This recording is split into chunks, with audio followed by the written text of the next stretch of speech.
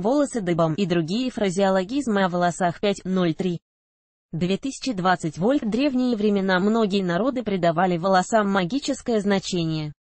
Считалось, что волосы обладают особой энергией, благодаря которой можно восстановить силы, исполнить какое-либо желание или даже изменить судьбу. Именно поэтому на Руси существовало много различных поверий и примет, связанных с волосами. Многие из них дошли и до наших времен, а фразеологизмы о волосах заняли прочное место в русском языке. Фразеологизм – это устойчивое словосочетание, смыслу которого не определяется значением отдельно взятых словарей. Наверняка вы не раз слышали такие выражения о волосах, но знаете ли вы их значение?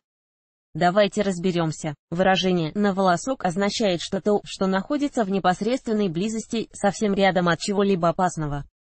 Отсюда произошли похожие фразеологизмы «жизнь на волоске» означает близость к гибели и «на волоске о смерти» — гибели. Держаться, висеть на волоске, находиться в крайне опасном положении, в ситуации, угрожающей жизни, быть близким к краху или срыву.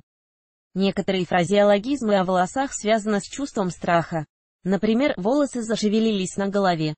Интересно также происхождение выражения «волосы дыбом». Это выражение применяется для описания сильного испуга. Согласно данным исследователей, происхождение этой речевой конструкции связано с древним орудием пыток – дыбой. С помощью такого страшного приспособления палачи растягивали тело жертвы во время допроса. То есть, волосы дыбом – это состояние, при котором волосы вытягиваются.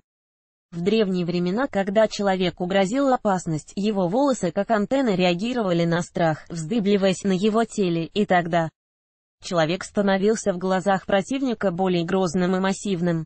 В русском языке также существует фразеологизм, который применяется для обозначения безопасности. Волос с головы не упадет, эта фраза означает, что человеку не принесут никакого вреда. Выражение «рвать на себе волосы» также употребляется в речи в переносном смысле и означает сильно горевать, переживать об упущенной возможности. Конечно же, на самом деле, никто не себе волосы не рвет. Так говорят, когда хотят сообщить о том, что человек сильно сожалеет, страдает из-за собственной непоправимой ошибки, приходит в отчаяние. Из-за упущенных возможностей и от безысходности.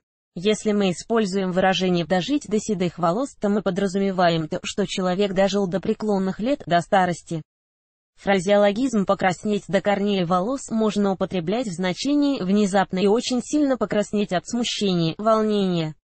Либо в значении «очень сильно разгорячиться, разгневаться». Словосочетание «притянуть за волосы» описывает ситуацию, когда в доказательствах что-либо используется неоправданно, с натяжкой, без достаточных на то оснований. Кроме вышеперечисленных фразеологизмов, в нашем разговорном языке есть и устойчивое словосочетание, непосредственно касающееся прически.